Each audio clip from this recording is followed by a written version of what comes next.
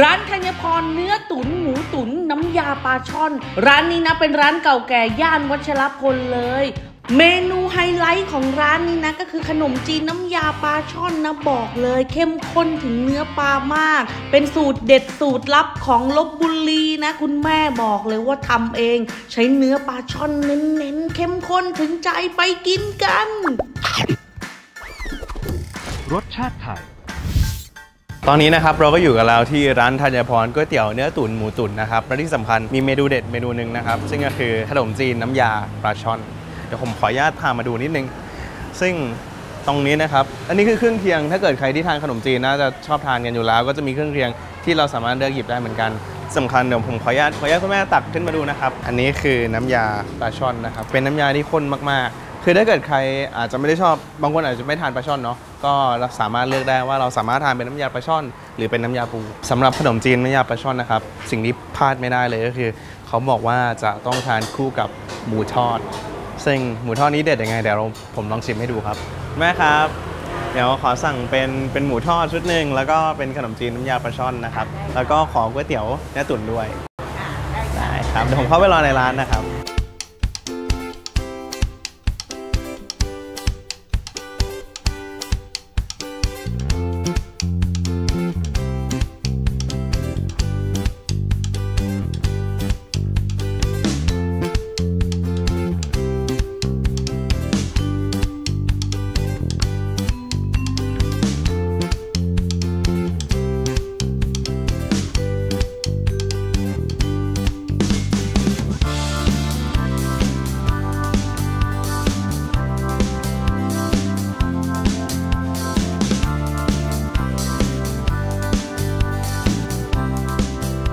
ตอนนี้เราก็ได้อาหารมาหมดแล้วนะครับ ซึ่งถ้าเห็นบนโต๊ะเนี่ยคือเยอะมากๆ เดี๋ยวผมขอเริ่มที่เมนูที่เราแนะนำกันใน part แรกก่อนก็คือ ขนมจีนน้ำยาปลาช่อนนะครับอืมเดี๋ยวผมขออนุญาตตักตัวน้ำยาปลาช่อนขึ้นมาให้ดูหน่อยดีกว่า คือค่อนข้างจะข้นแล้วก็มีเนื้อปลาที่ค่อนข้างเยอะเลยครับนั้นแล้วเราก็ราดเลย ลองชิมเป็นน้ำยาเปล่าๆ คือตัวน้ำยาปลาช่อนของที่นี่นะครับ คือไม่ได้เผ็ดมาก และที่สำคัญคือตัวเนื้อปลาของเขาเนี่ยค่อนข้างเยอะ แล้วก็มีความนุ่มพอเราทานเนี่ยมันจะกลายเป็นว่าในเจ๊นั้นเหมือนเราทานซุปชามหนึ่งที่มีความเผ็ดขออนุญาตลองชิมเป็นกับตัวเส้นขนมจีนดีกว่าเราจะตักย่างนิดนึงโอเคแฟดแบ็กน้ำยากระเด็นใส่หน้า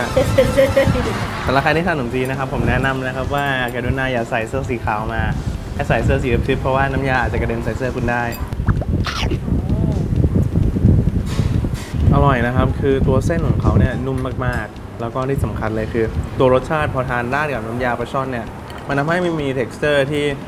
ที่ผมเอาจริง ๆ ก็คือถ้าเกิดใครที่ชอบทานปลาอยู่แล้วอะเวลาเราเคี้ยวเราจะได้รสชาติของปลาด้วยไม่ต้องกลัวนะถ้าเกิดว่ากลัวราดน้ำยาปลาช่อนไปโดนเส้นขนมจีนแล้วรสชาติมันจะจืดมันไม่จืดนะครับ คือมันกลมกล่อมแล้วมันทานเข้ากันได้ดีมาก และที่สำคัญนะครับ สิ่งทิ้งที่เราพลาดไม่ได้ ถ้าเกิดว่าเราจะทานคู่กับขนมจีนซึ่งก็คือ หมูทอด หมูทอดนะครับ เดี๋ยวผมขออนุญาตหยิบจานให้มาดู ราคาเนี่ยตกขีดละ 50 บาท ซึ่งถือว่าไม่แพง แต่ถ้าเกิดใครก็ตามที่เป็นสายชอบทานหมูทอดจิ้มกับน้ำจิ้มเผ็ดๆนะครับพริกที่เขาให้มากับน้ำจิ้มเนี่ยอลังมาก มา เดี๋ยวเราลองกันเลยครับ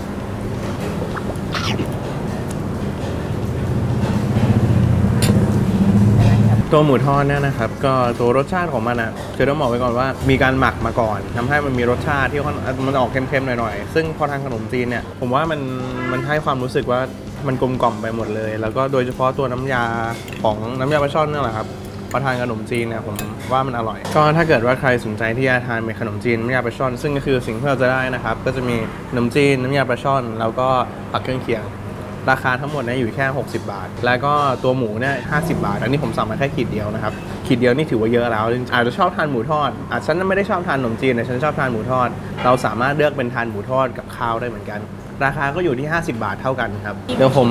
ราดน้ำจิ้มให้ดูนะครับ แล้วเดี๋ยวเราจะลองตักชิมเลย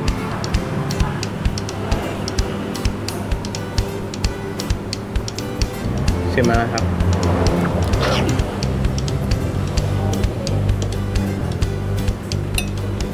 ข้าวหมูทอดเนี่ยนะครับ คือตัวข้าวของเขาก็เป็นเม็ดแต่แหละแต่ว่าตรงหมูทอดของเขาอะ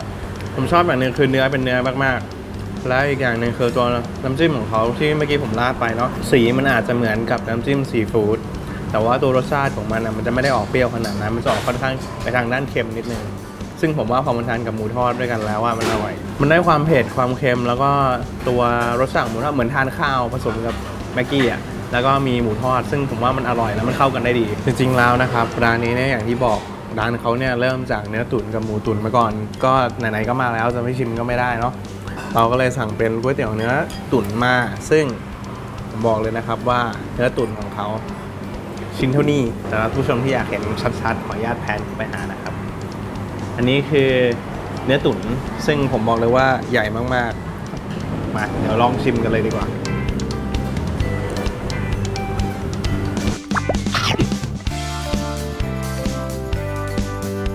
ตัวเนื้อตุ๋นนะครับ ตัวรสชาติของเขามันจะมีกลิ่นของเนื้อ แต่ว่าเป็นกลิ่นที่ค่อนข้างหอมเป็นกลิ่นเหมือนการตุ๋นมานานนะครับ ตัวเนื้อเนี่ยผมว่ารู้สึกมันนุ่มนะ นุ่มพอสมควรเลย แล้วก็มันจะมีซมมันนิดนึงสำหรับใครที่ชอบเป็นก๋วยเตี๋ยวเนื้อตุ๋นอยู่แล้ว ก็สามารถสั่งมาทานได้ ไม่ได้หวานและเค็มจนเกินไป ก็เป็นรสชาติที่ค่อนข้างลงตัว เดี๋ยวชามต่อไปนะครับ